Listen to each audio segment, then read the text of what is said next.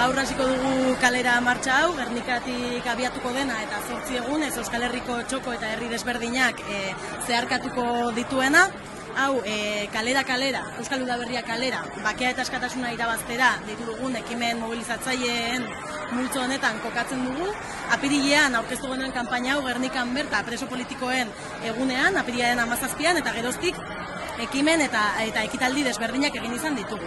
Alde batetik eh, amnistiaren astearen urte urte urrena ospatu dugu herri desberdinetan, beste alde batetik dispertsio politikak 30 urte bete dituen honetan, e, kartzeletara martxa desberdinak egin izan ditugu maiatzean eta bueno, gaur hasiko da Gernikatik martxa hau alde batetik e, gaur hasi eta zortzi egun zeharkatuko duen honetan atortxurroken festaren erdigunean jarriko dugu Gernikako lorea bera eta horrek e, simbolizatu nahiko du bai e, gure askatasunaren aldeko borroka hau.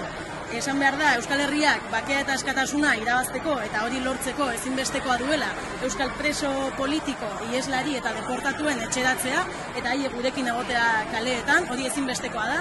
Eta beste alde batetik, nahiko genuke gure kompromiso irmoa eta babesa eman, EPPKak orain e, bukatu duen eztabaida prozesu honetan, e, hori, e, gure babes osoa ematen.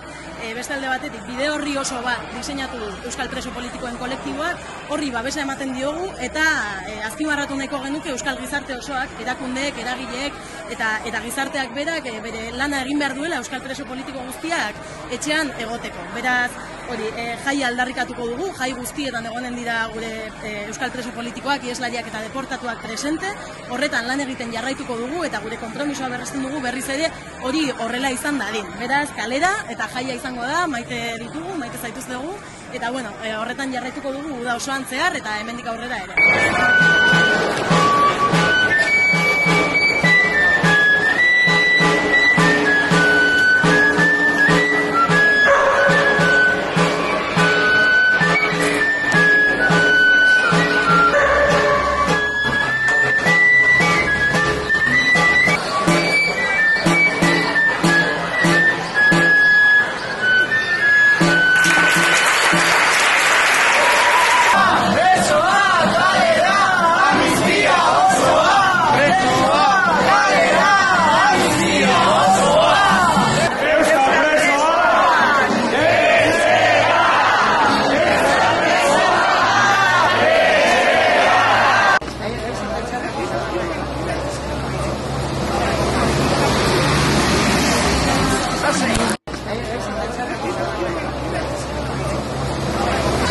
Peggy.